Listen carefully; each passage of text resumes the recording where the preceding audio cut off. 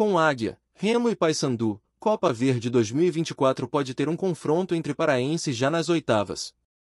A Copa Verde 2024 teve sua tabela básica divulgada e nas oitavas de final poderá ter o confronto entre Paysandu e Águia de Marabá. A Confederação Brasileira de Futebol, CBF, divulgou a tabela básica da Copa Verde 2024. Essa será a 11ª edição da competição regional e poderíamos ter um confronto entre clubes paraenses logo nas oitavas de final do torneio. Três clubes são os representantes do estado do Pará na Copa Verde 2024. O Águia de Marabá garantiu a vaga pelo título do Parazão 2023, o Remo, que entrou por ser o vice-campeão paraense e o Paysandu, que entrou na competição pelo ranking. Na primeira fase, o Águia de Marabá está no grupo A3 e terá pela frente o Rio Branco AC, em confronto único. Caso o Azulão passe pelo Rio Branco, pegará o Paysandu nas oitavas de final da Copa Verde.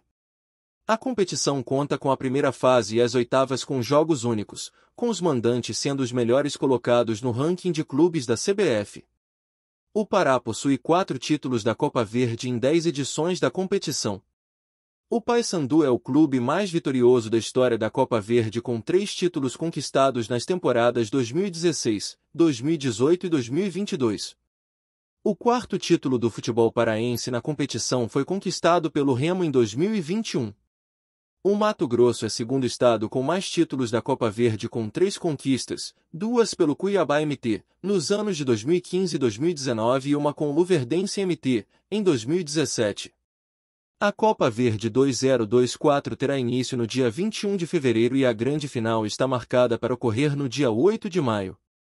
O grande vencedor da Copa Verde garante uma vaga na terceira fase da Copa do Brasil de 2025, assegurando uma cota milionária de quase 2 milhões de reais, referentes à Copa do Brasil. Se inscreva no canal, deixe seu like e tenha todos os dias vídeos atualizados. Deixe nos comentários o que achou da notícia.